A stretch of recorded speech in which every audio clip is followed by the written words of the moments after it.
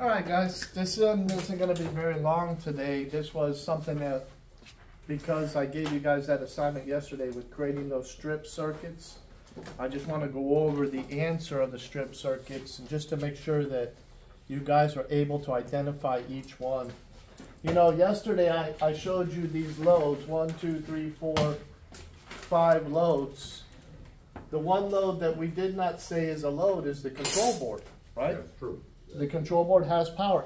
It is a load and a control, right? Um, and I posted the video on this lecture uh, just uh, yesterday, and someone questioned, is the thermistor a control? And in a way or indirectly, it is a control, but a control is like that float switch. When that's open, the water valve don't work. Power can't get to it. When it's closed, the water valve will work. It controls it by turning it on and off. Now, what a thermistor does, and we can talk about this one or the one inside the sensor, what a thermistor does is the thermistor is telling the board what the temperature is, and then if it's too hot, the element or whatever shuts off. Okay? But the thermistor doesn't turn off the heating element. The thermistor tells the board what the temperature is, and then the board makes a decision mm. to turn that off. So the board is the control, control board, what we call them. The thermistor is more like a load, and I explained that that circuit for the thermistor from P310 to P39 here, that's a low voltage circuit. Thermistors usually run about 5 volts DC. And that voltage going through the thermistor is what the board is doing. It's sending that small voltage through there and it's measuring how fast it's flowing through there like an amperage draw and it converts that into a temperature. Okay? So it measures the resistance. Your board is almost like a multimeter because when you have a digital multimeter and you're checking the resistance or even an analog, when you're checking the resistance of a part, you put your two meter leads there, the battery of your meter is sending a current through that resistor, and that measurement of the current is telling it the resistance value. So the thermistor is basically like a heater. It's a resistor, and it changes value. You know when you when your heater is on and you measure or, or off, when you measure the resistance of your heater, you're going to get let's say 30 ohms. When it gets hot, is it still 30 ohms when current's flowing through it? It's hot. No, it's gonna be, should be higher, right? heat creates resistance. Mm-hmm. Okay, so the heater actually changes the resistance value when it's running. Well, that's the same thing a thermistor does. But just the difference is we're using the heater to produce heat, and we're using a thermistor to measure what the temperature is, whether it's hot or cold or whatever. Okay, so yesterday we talked about the circuit for the dispenser. We've already done that one, so let's go on to the next one, the water valve and a float switch. And I'll go ahead and draw it. I was gonna ask you guys to come up, but I don't wanna like uh, make this a long lecture, so I'll go ahead and draw it from here. So where do we start on this diagram? For what? L one. For, for our circuit, L1. Mm-hmm. So that's always gonna be our starting point for our electrical circuit. Our ending point is what? Neutral. Neutral. And I, I'm gonna draw a, a triangle like it's it's coming in here and it's going out there. Mm. In order for any part to work, okay, any load to work, let me just be more specific as load, it has to have electrical current flowing to it. Now, what do I mean by that? What do I mean that every part has to have current flowing through it, not just electricity to it? So it can work. Yeah, So- upstairs, great. It can. Well, here, watch. If I come in here and we're going to do the water valve and the voltage is here, but this switch is broken, would the water valve work? No. But why? I have voltage.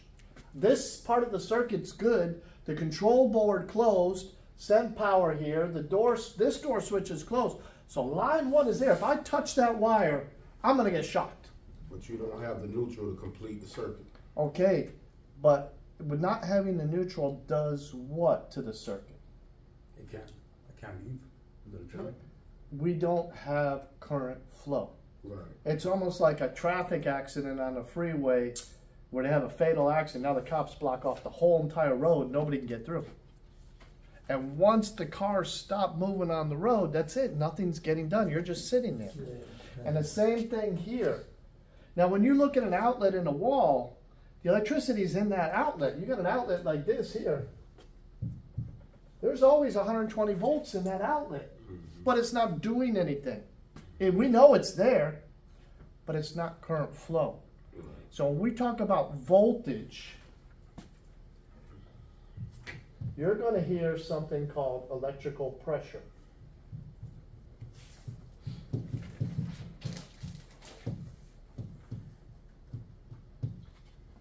Voltage is electrical pressure. Think about a hose on a wall. Before you turn the valve on, there's water here, right? Mm-hmm. It's under pressure too, right? We mm-hmm. say we got 40 psi, which is about what an average household water pressure is. Twenty. But it's not moving. That's electricity, the same thing. When we have it in an outlet, we have 120 volts here, but the electrical current's not flowing. There's pressure. This is line one here, the small one, and the big one would be neutral. It, it wouldn't normally be that that big. Let's just make it like that. There you go. So, um, line one's here, but once I connect a light bulb, it goes through the bulb and comes back here. So it's going this way and then it comes back that way. Mm-hmm. So we need to have a complete circuit. And it doesn't matter which side of the circuit we break. Like this is the neutral side. As long as the circuit is broken anywhere for that part, it's not going to run. Mm-hmm. So when we're troubleshooting an electric, electrical circuit, one of the things we want to look for is the part itself bad, like the water valve could be bad, but if the water valve is not bad, then something in our electrical circuit has to be broken so the current can't be flowing through it. The current flow, of the water valve is like a water wheel. I could have water here, but if it don't move, the wheel don't turn. It's once I have the water flowing through, then the wheel turns. What if I put another valve here and, and, and close this valve? The water comes from here, goes here. This might turn and then stop once the pressure gets to here, and then there's no more flow. So this is like the neutral switch, and this is like the line one switch. That they all have to be there in order for that wheel to turn. And that's what is going on here with your electrical circuit. So you guys understand that as far as the circuit? Okay, so let's go to the actual circuit. We go line one through the door switch to the board. We're gonna add what, a relay? Mm-hmm. We could actually put a little coil there like that, because a relay is two parts, right? A magnetic coil and a switch. And when I put power to the magnetic coil, it closes the switch. That's mounted on the board. And those two parts are inside this relay. They're inside of here. These two terminals are the switch. The magnetic coil is inside of there, but it's soldered to the board over here. And the control boards, when the control board wants that switch to close, you have a little chip on here, right here, like a processing chip, and then you got some other chips were called ROM chips, which are like the actual program that the manufacturer puts in your board. That chip talks to this chip, this chip sends voltage to the magnetic coil, and the switch closes and tells it to come out. So you don't ever see this on the diagram. You may see the switch, and they may call it a relay, but you have to know that the board has to control that relay. So this one comes in here, goes here, goes through the float switch and the water valve, and goes back out here. So how should your diagram look? We should always start off with L1 and neutral. always have that in our diagram. And line one goes to what first according to this? Door switch. switch. Door switch. Door switch. Black wire, Yep. door switch, mm-hmm. Mm-hmm. and then from there it goes to what? To the P. It goes to P one, right? So let, me uh, make it a little bit smaller so I got room to write this. So I'm gonna put a box here and put P one, right? And then I'm gonna put that relay. I'm just gonna put RY for relay. Now here's one thing that confuses people when they're looking at the diagram. That open switch because when they see it open, they can't see the direction of the current flow. When a closed switch is closed, it's actually touching like that. But they drew it like this. When I've asked students over the many years, I want you to draw a circuit. I want you to draw one master switch with two timer switches after that. The first timer switch, I want to control two light bulbs in series. And you should see that people have lines like this. I'm gonna come in, I got a one master timer switch, a timer switch. Then I got two other switches. Controlling one light bulb in series and one light bulb in parallel. Is that drawn correctly? No. What's, what's going on here? This isn't connected to anything. What that should have looked like was like this.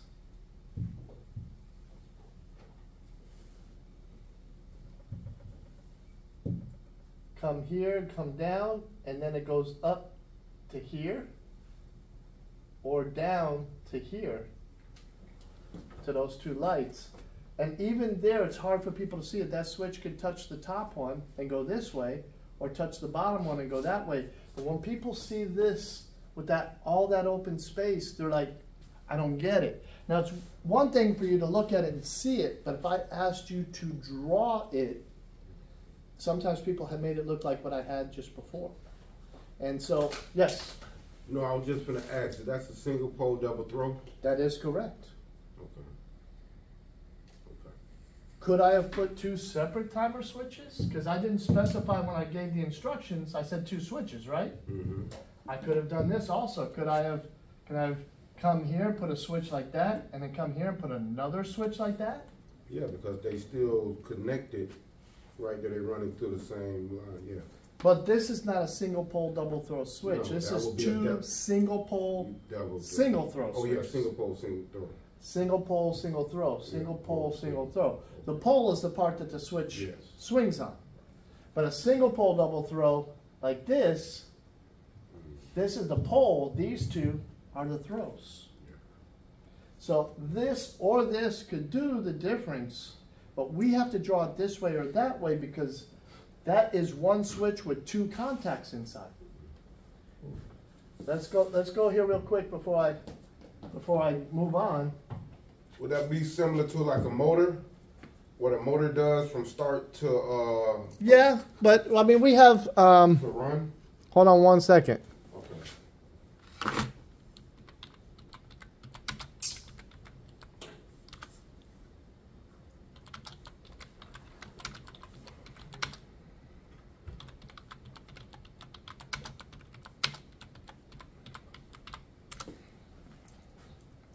Talked about these switches before. And these are switches you can find on many appliances, microwaves or whatever. I see if they had one with a drawing on it. I had one once before. Um, let's just look at the at the pins. So if you look at this switch, it only has two pins. But what does it say there? Can you read it? No. No. Okay, so what if I did this? Okay, we can it. Single Single pole. Single pole, throw, single single throw. throw. Single pole, single throw contact, but what does it say there? Not close. So if I put my meter lead on here and here to test it, will I get a reading now or no? Yes, Yes. Why? because it's close. Normally closed means right now, if I take that switch and set it on the table, Mhm. the contacts will be closed inside and I'll get a reading. Because they're touching. What is this one here? Uh, uh, sorry, um, maybe, maybe here. This one here says what? Normally open. Normally open. So if I take it out and put it on the table, will I get a reading? No. Nope. No, okay. So it won't get a reading until I press down on the button. Right. What happens to this one when I press down on the button? It, it opens. It opens the switch back up. Mhm. Now this one here,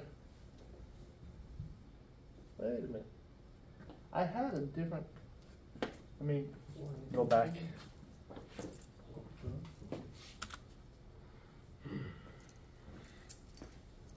One second. So what about this top one?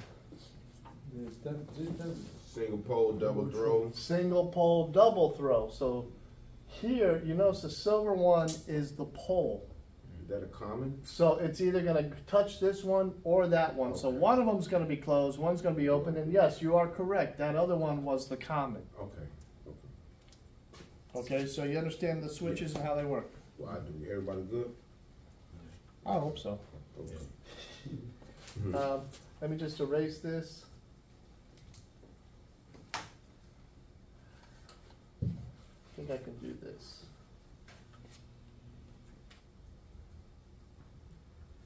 Delete. Where's my delete button?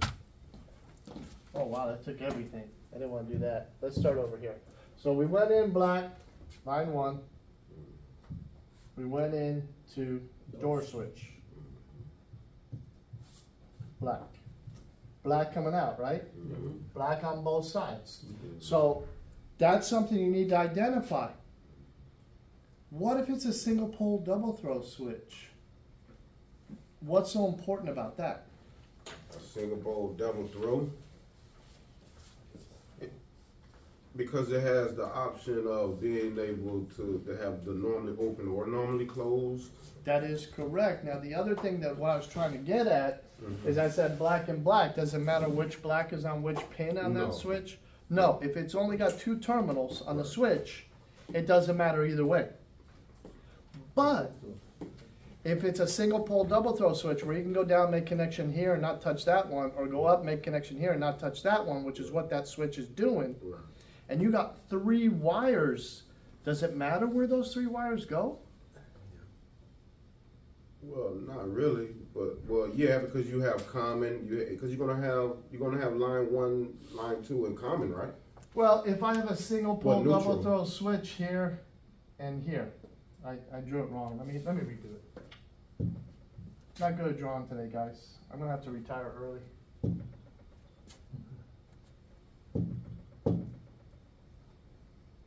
So I got my two switches. One of them is gonna be line one, right? Yes. Which one's line one? Which one would be line one? I'll put I'll put line one here, Okay. and I'll put blue, and I'll put black here. Well, line one comes in, it'll go out blue, whatever blue is, light bulb or motor, or whatever. But if this switch goes down here, line one doesn't go to anything. Nothing's gonna work, is it? The line one has to be on the It has to common, be on that that that. so it could go out this one or out that one. Right, I got you. So on a switch with just two terminals, Have to go. It really doesn't matter where which wire goes on which pin. But if we have a switch that has multiple pins, we not only have to know what wires are on that switch, but we also have to know what pin that wire connects to. Because if we don't connect those wires properly, we could have a short or something's not going to work if we don't put the power in the right place. Okay. Got it? Mm. Oops, I went too far. Okay, so after the black, we went what, to the board, right? P1? We went into the board here, black wire. So we're gonna go here, and I'll put P1, and now we're into the board. Mm.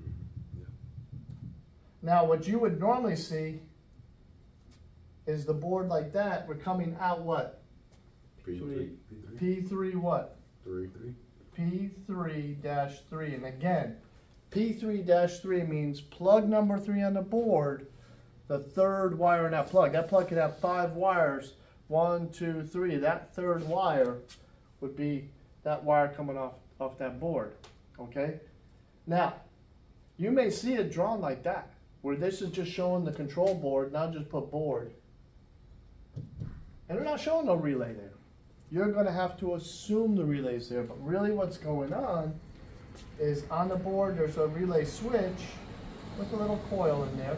There may be more on the board, but we don't need all of them if we're just testing That circuit. That circuit, yeah. We only need to know what relay is sending power to that part. And so what's the next thing off of P33? The float PK. The float switch, okay? Now, what color are we using? PK. Pink. Pink. Pink. And then we go to a float switch, which is like this. Now that float switch has a circle, so that when the water comes in, like in a water level switch on a washing machine, it looks like that. And comes off the bottom. So when water comes in, air gets trapped in there and raises it up. What would happen to the switch when it goes up? It opens. It's gonna open, and then by opening, what does it do? It closes the circuit. Or that, well. It shut- closes? It, it opens the circuit, which stops the voltage from getting to the water valve. The water valve. So from there, we go to the water valve. And then from the water valve, where do we go? The door switch. To another door switch. another door switch. This is. So this is white here, and then white here, and then this is neutral, right? Right. So that is the strip circuit for the water valve. And again, as repeating, what is this strip circuit doing for me? How is it going to help or benefit me when I'm working on this machine? Easy to diagnose. To diagnose. It is to see what components are controlling that water valve. So if the water valve don't work, and I'm saying, okay, water valve don't work, I'm gonna change the water valve. But still don't work. Changing the part is not what you're supposed to do. What kind of test would you make if you were going on this machine and it wasn't filling with water? What kind of test I will take? Now you hear other things working, so we know that the machine has power. You know, it got power. But no water's coming in. No water is coming in. Check the float switch. Do our own How would you, you just you just go randomly to the float switch? I'm just there's No, nothing wrong well, with it. Well, well, uh, having that the um, being that you said the water is not filling up. hmm Now I had a guy had a dishwasher not filling. He changed the water valve. It didn't fix it. Mm-hmm. Another guy went out there and says, "Well, the float switch itself somehow came out of the bracket, was just hanging by the wires." Wow. It's not that the switch was bad, but the float was no longer pressing down on it. It was just hanging there by the wires. So you have to check what? What what comes from here to here? Oh, voltage. Voltage. And how would we test it? What okay, we see the circuit. What's the first test I would make? Put my leads to line one and neutral, or check the terminal blocks, or check the voltage coming in. But the machine's wall. running. Okay, the machine's running, so I can do a voltage check on the water valve to make sure it's getting this 120 volts. So I would take a meter and put one meter lead here, one meter lead here, and my meter would read the voltage. Yes. Does this have voltage all the time? Does it have voltage all the time? No. So when does it have voltage? When it when when it's open. I mean when it's Close. yeah when it's closed. When it's when it's Is it working? So you'd have to look at the timer chart and find out what time. And guess what? There's only some small spots in that chart Right. where the water valve's actually energized. Mhm. And if it's a computer board, how do you know when you're in that one spot when it's a your meter says zero volts is going to that valve, Mhm. Right? Mhm. You got a control board, not a timer where a dial's turning, so you really don't know where in the cycle is that board. Mhm. And so you don't know when the board's actually sending the voltage to the valve. We go by time frame and look on the chart, but what else could we do to make things easier? check make that test. Check I mean check um check at the board for um neutral and the P three three. Okay, but you're but you're saying checking neutral here and P33, but Oh, but what you but but, but wait, what, I, what I'm getting at though is like I don't know when the board's supposed to be sending voltage. So right now I may be in a wash cycle or a drain cycle and not a Oh, fill. Okay, okay, okay, okay. And I got my voltmeter. Voltmeter's going to tell me, hey, you got no voltage. And you're like, oh, the board's bad or the, or the float switch is bad because I have no voltage. So what about a, um, a water service test? The water service test, very good. We talked about that the other day. The water service test, and I don't know if I had this on on on board. Um, one second, let me open up my Acrobat. I think I had the diagram in uh, in here, didn't I? Just to explain the water service test one more time, just in layman's. I I'm gonna I'm gonna bring it up as soon as as soon as I get it on the screen here. One sec. Give me one second to find that water that wiring diagram again. Right here, refrigerator, dishwasher. It, for some reason, it didn't even save as a file. Oh, you know what? I know what that is. Let me look here.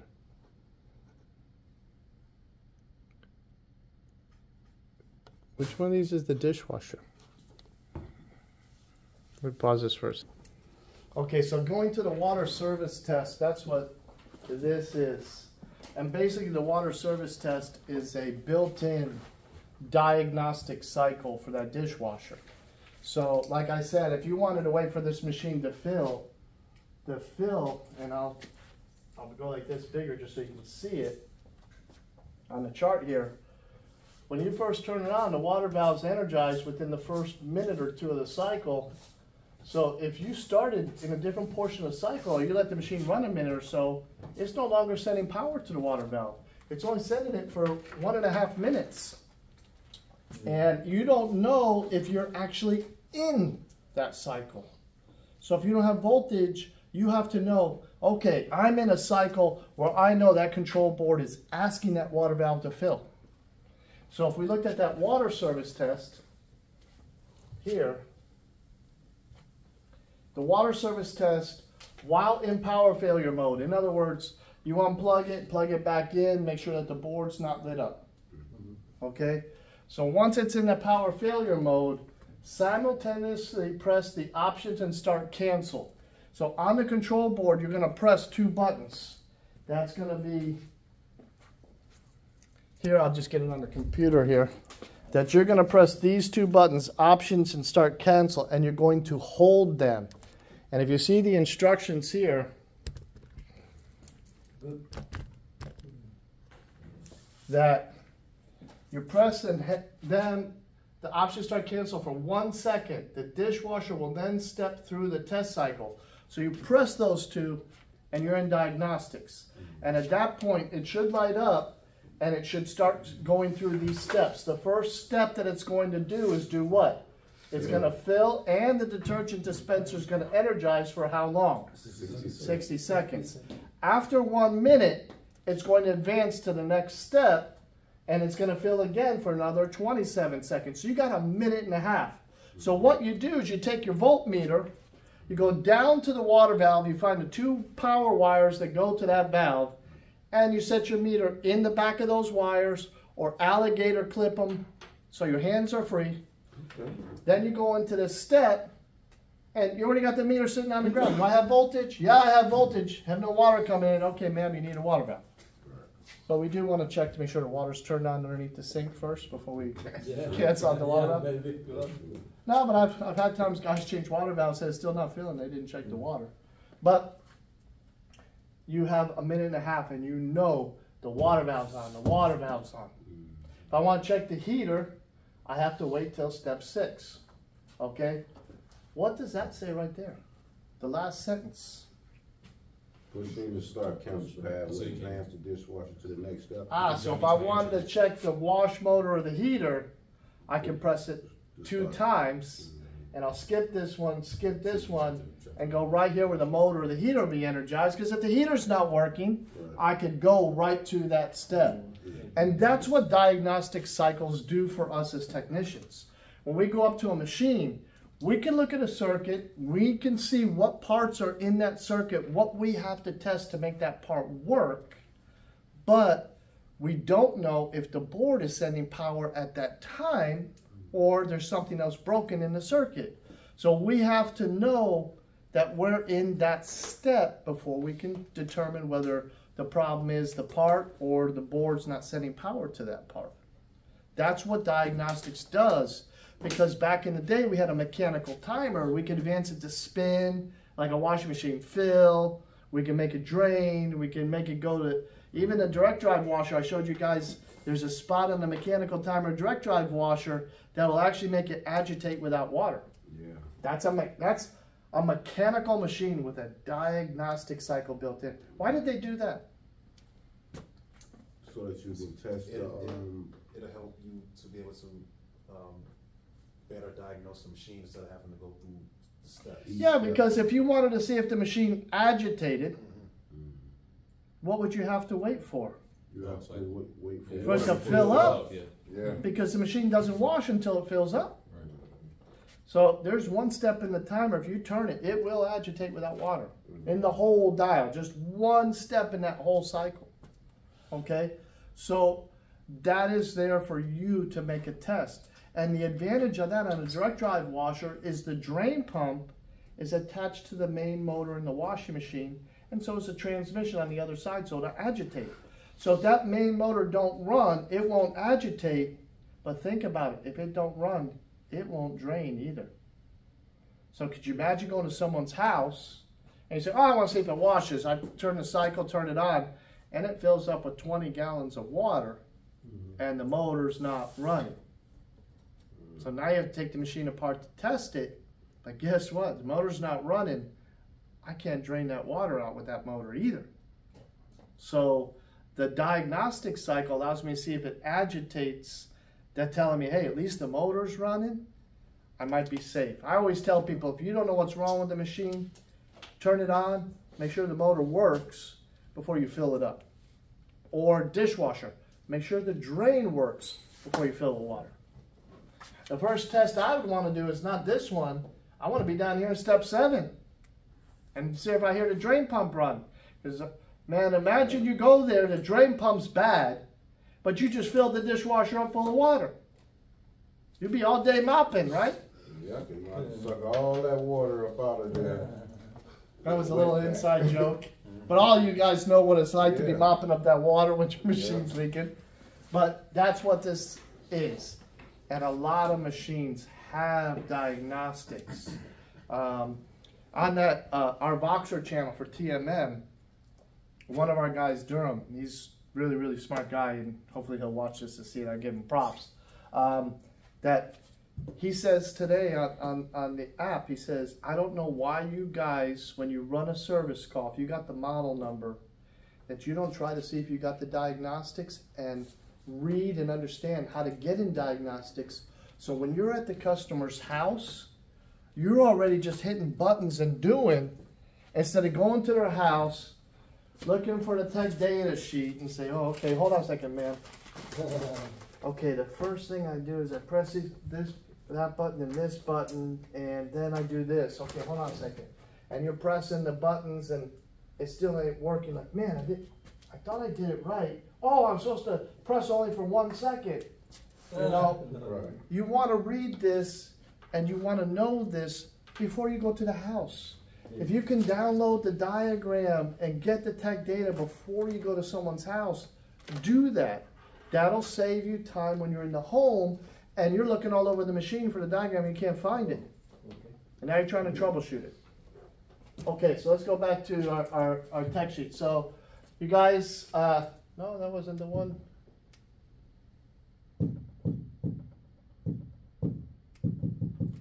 Oh, you know what I did? I should be in this one. Oh my goodness, you know what just happened? I, oh, oh, here it is. It wasn't there a second ago. Okay, so you guys all clear with this as far as the circuit? All right, so we need to go into the water service test mode. And it, I don't know why they call it water service because basically it tests all the electrical components. This is that circuit in a straight line. And it's easier for you to see what components all control that valve. Looking at that diagram, the question I have for you is how many controls does it take to turn on that water valve?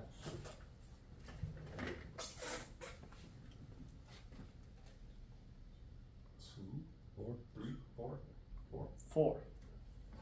One door switch, the control board, the float switch, and another door switch. Yes, both door switches are physically on the same part, but they're two separate contacts. One can still be bad and one can still be good. But I have four parts that if the valve is good, that could prevent power from getting to the valve, correct? But then we said yesterday, if other parts of the machine work, like the motor or stuff like that, I can rule out what parts. The motor, Now, if I said the, the, the wash motor and the drain motor are running, I'm in the service test.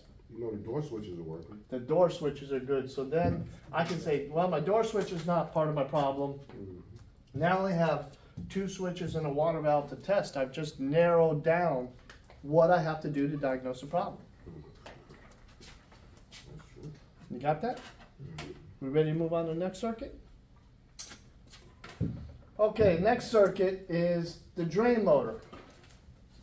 We come into the door switch, we go through a relay, come out the drain motor, and go here and back. So we got line one, black, door switch, black, And hold on a second. I'm gonna put neutral. And then I'm gonna put another door switch here.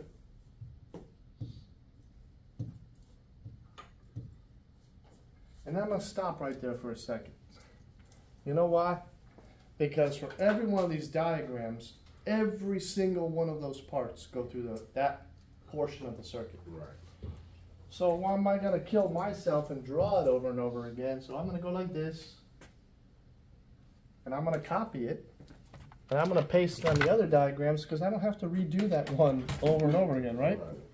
I go here, I go here, and control V. This is gonna be the next part. I go here, control V. So that saves me some time, right? So now we got the drain motor coming off of here. We went to what? P1, right? Oops. So right here we have P1, Three, four. and then we're in the board. We got a relay on the board, and coming off the board is what? Three, forty-four. P3, 4. P3, 4. It's easier than I write in the box. And coming off P3, 4, I go to what? The Drain motor. The drain motor, mm-hmm. Nine, and I'm done, right? yeah. Okay, these numbers, these numbers are telling us if I had no power to my drain motor, my board may not be sending power to drain motor. My board's what tells it to turn on and tell it to turn off, right? So if we look at this here, P34s tell me where on the board I'm gonna put a meter to see if the power's coming off the board. 'Cause I could have a broken wire, right? Not that it happens that often, but if the wire's broke, power will be up to here, but never down to the motor. So I need to know where on the board am I gonna place my meter. I can look at the plug, and if I'm not hundred percent sure, it also says V for violet, telling me that if I look at the plug and look at all those wires on there, it's the fourth wire from pin one over, but if I didn't, if I'm looking at a bunch of plugs on the board and I'm not sure which plug is this P3 plug, there's two things I look for if I'm not familiar with it or I can't see the P number actually printed on the board. Because when you look at these boards here, they have these connectors on the board. Each one of them are going to either be a J1 or a P3 or they call them plug or, or, ju or junction or jump or whatever. I don't know what the J stands for. But all these connectors are a place to go. If I didn't know which one of these connectors was P3, then I would say, hmm, this is a 10 pin connector. I'm not using 10 wires. Like there is no wire coming off of number two, but I look at a plug that actually can support 10 wires. And I could also look at that, there's a wire on pin one, pin two would be empty or blank. It wouldn't have a wire there. So if I was saying, well, which one is pin four? Do I count from this way and go this way, or do I count from this way and go that way? Yes, we count right to left, but if I'm looking at the physical plug, I'd either look, okay, well, I got a red wire on this end and a yellow on that one, so I'm gonna start with the red wire and count one, two, three, four. Or I could look at what? The color of the wires. the color of the wires and say red, yellow, uh, red, pink, violet, blue, uh, black, yellow, yellow, whatever. And then I could look at that plug and see all the colors of the wires going to that plug and say, yeah, that's the plug I'm looking for. I can't see the P3, but I can look at the plug and see what color those wires are going to that plug. And I know that's P3 because guess what? P2, yes, it has red, white, and black, just, just like the same similar colors, but this is only a six pin plug. Right. Because both of these are pin two, but there's only six pins. There's no more P2s there. So that's a smaller plug than this one, right?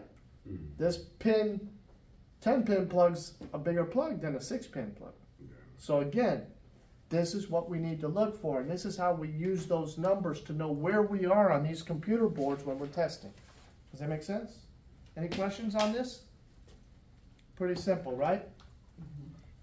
So, if I was going to do the pump motor, the drain motor drains the water, the pump motor is also known as what?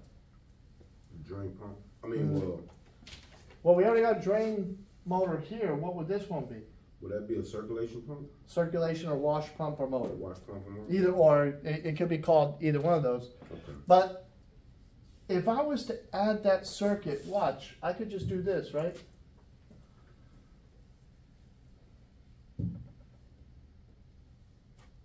Right? Yeah. So then, just to make things simple, I change that P34 to a P35, and I change this from drain motor to pump, and I'm done. Exact thing. Mm-hmm. It's the same circuit, isn't it? Basically, except for the motor itself and where it comes off the board. That was simple, right? So, again, this is this is also pattern recognition.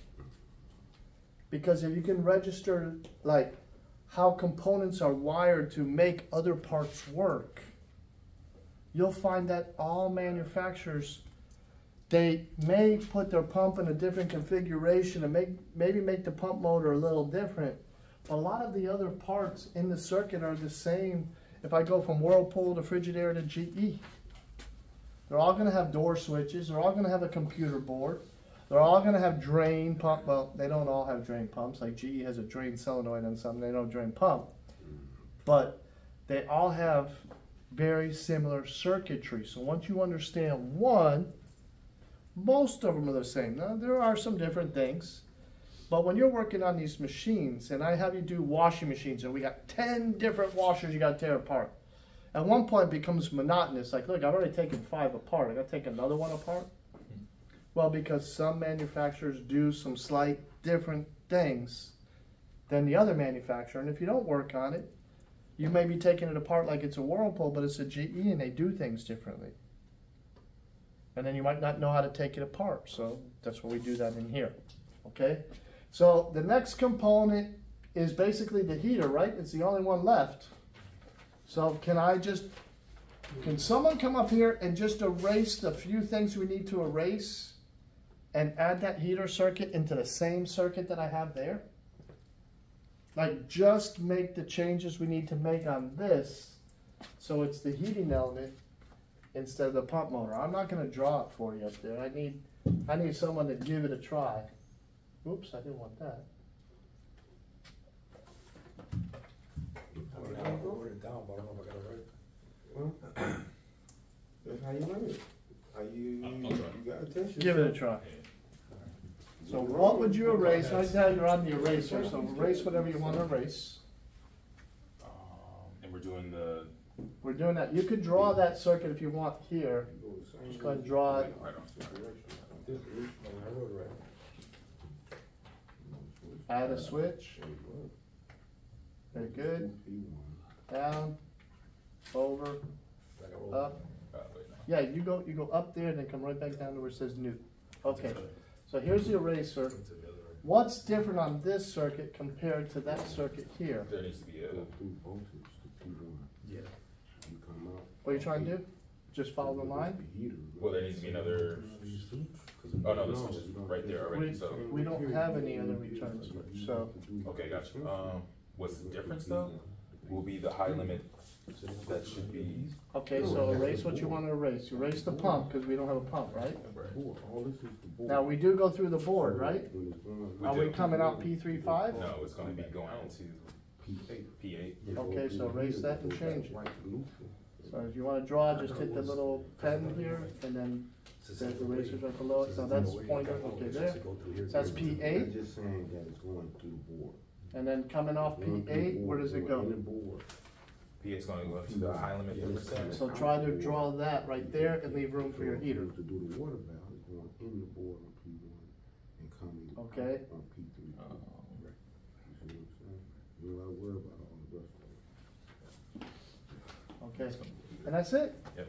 So that little bit right here, that little bit is all he changed from the pump motor. Now, Or from the relay. drain motor. He, he put the relay up there at the top, um, to show you that it's a relay in the board, but it's just reversed back the other way. Mhm. See what I'm saying? So it's the same thing he did that way, he just did that way. This is the only thing that changed in that circuit for the heater is these two parts. We used a relay on the board, we used the doors, a different relay, P one to P eight, Right, right. not P one to P three five or P three four or whatever. But everything else is the same. Yep. So learn to look at these circuitry patterns on these machines when you're working on them. Any questions? No? You guys gonna survive the test tomorrow? I hope so.